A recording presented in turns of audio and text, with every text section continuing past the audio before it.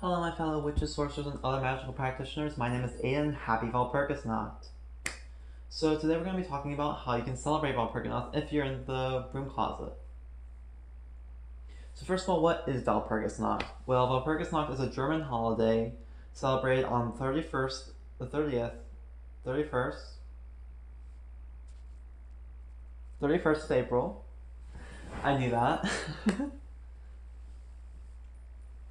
celebrated on the 31st of April, and it is right before Beltane. Um, it celebrates Saint Walpurgia, who is prayed to to to ward off demons, witches, and all sorts of creatures of the night. However, witches celebrate it um, with dark sabbats and feasting and all sorts of debauchery and all sorts of just wonderful things. Now, celebrating it in the broom closet is a little bit harder than any of the other Sabbats, I feel, as it's a little bit more of a darker Sabbat, um, I would say. Like, traditionally, like the things that are associated with it, you can read in the Faust myth. Um, some things are associated with it, but it's very devil's lore focused. So, like, it focuses a lot on the lore of the devil and witches in that current. So what can you do? Well, you can light black candles. Black would be a good color for this Sabbat, in my opinion. Uh, it's a good time to start working with liminal forces.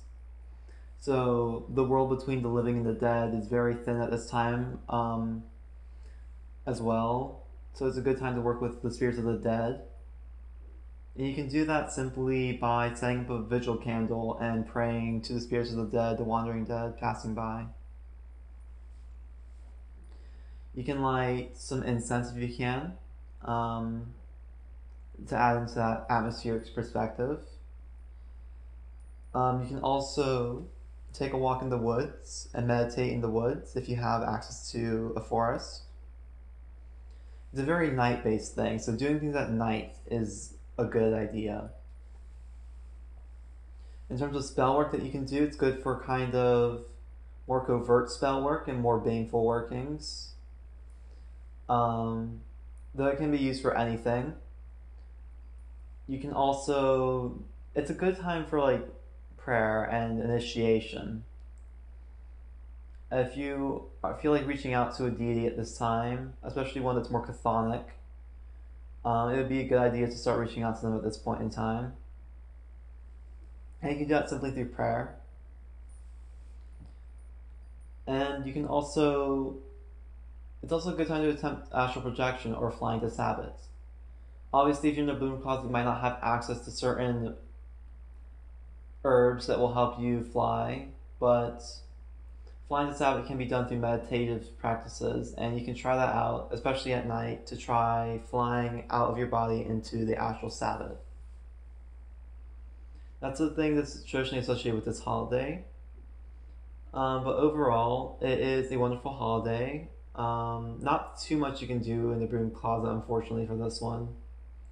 But it is a good one to celebrate, and I really like this holiday. I will definitely be doing some things for this holiday um, that are not mentioned in this video. Um, do be careful and be safe as always because this holiday is more darker, it has some darker themes to it. So if you do get into that lore and work with that kind of energy, then just be safe. But I thank you all for watching and I hope to see you in the next one. Goodbye.